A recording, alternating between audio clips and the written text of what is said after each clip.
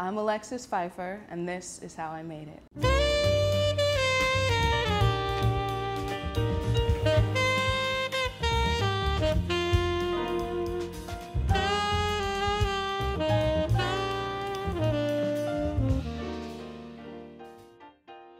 My first introduction to fashion was when I was about 10 years old.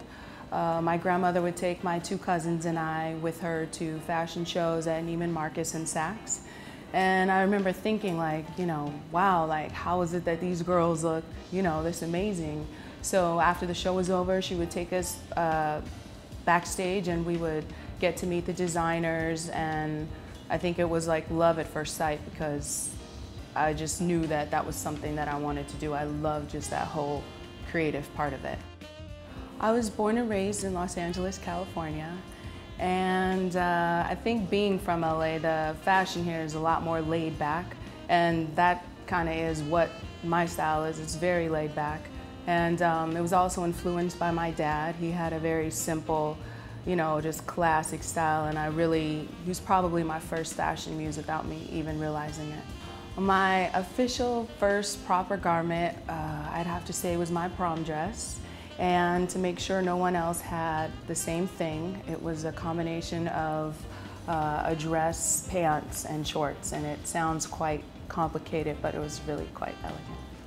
I would recommend anyone uh, to go to school for fashion if that's what their passion is. I just learned so much there that, you know, I thought I didn't need to know, but I learned, you know, how to sketch properly, how to make patterns, um, put together collections. So it is really helpful. I would recommend it for anyone wanting to get into the business.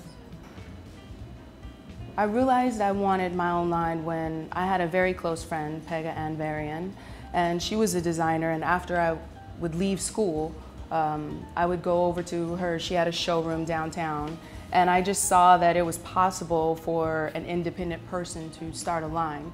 So she was very inspiring to me, and I just took her like playbook and knew how to apply it to me having my own line.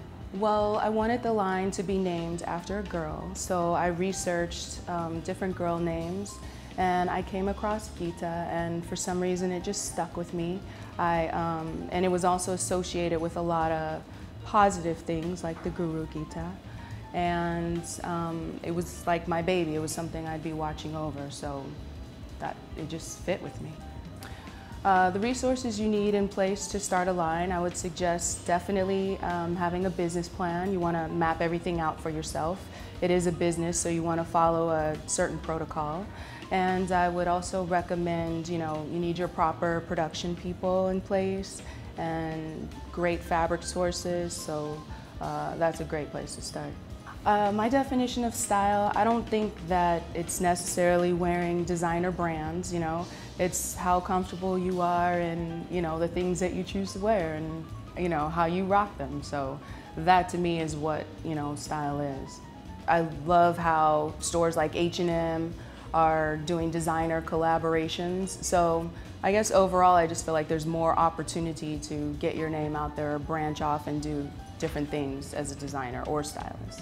I style freelance and I also work with a company called the Vanity Group.